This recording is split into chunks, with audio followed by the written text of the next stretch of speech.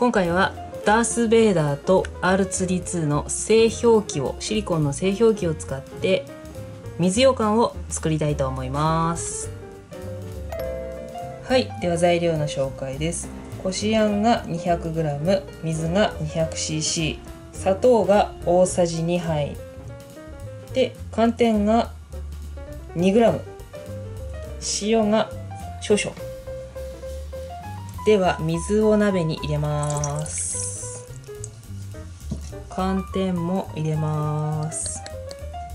でこれで火にかけて沸騰するまで。溶けたら火を止めます。火を止めたらこしあんと塩を入れます。塩。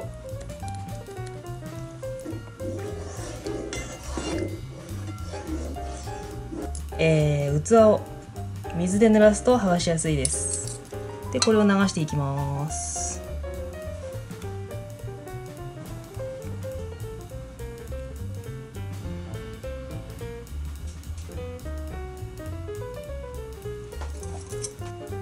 トントンするか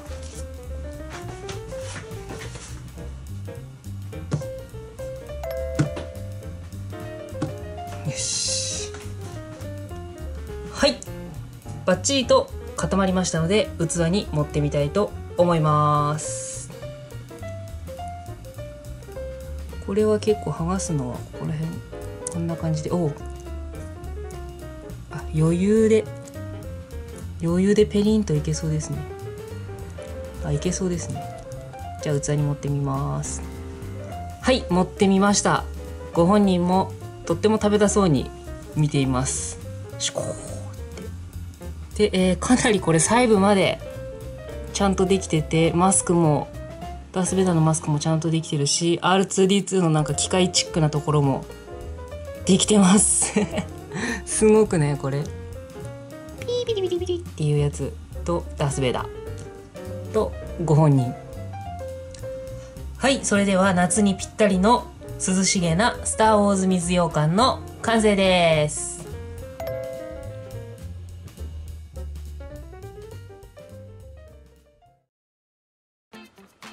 ぜひチャンネル登録をお願いします。